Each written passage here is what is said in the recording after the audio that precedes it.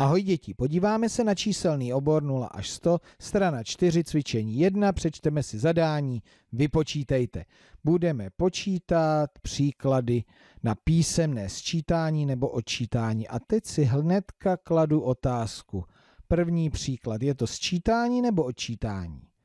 Vidím, že nevidím žádné znamenko.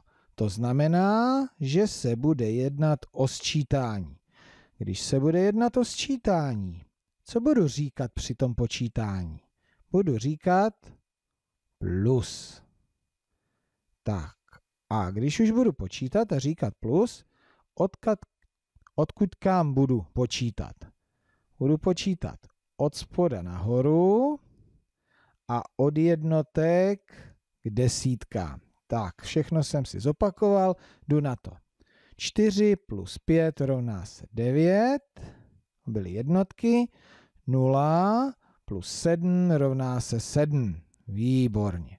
Druhý příklad. Tak, prohlížím, vidím mínus, budeme odčítat.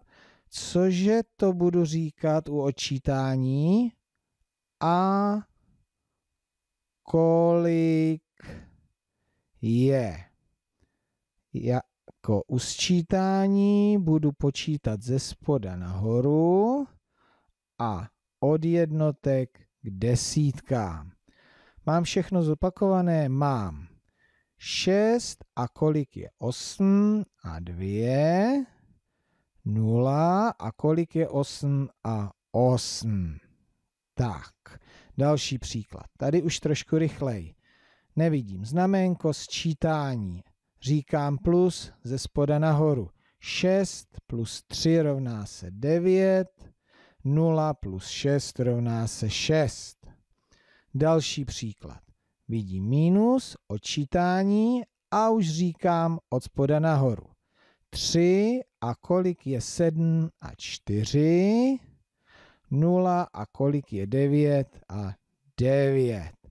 První čtyři příklady jsme si řekli, takže u dalších Vždycky nejdříve si řekněte, jestli budete sčítat nebo odčítat. Poznáte to podle toho, jestli je tady znamenko a když tam není, tak budete sčítat.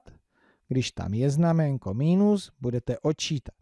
Potom si připomeňte, jaká kouzelná slůvka budete říkat u sčítání plus, u odčítání a kolik je. Nezapomeňte, že vždycky i u sčítání, i u odčítání počítáme ze spoda nahoru a ze zadu dopředu. Od jednotek k desítkám. Od jednotek k desítkám. Připomněli jsme si všechno? Pak si myslím, že se do dalších příkladů můžete pustit sami.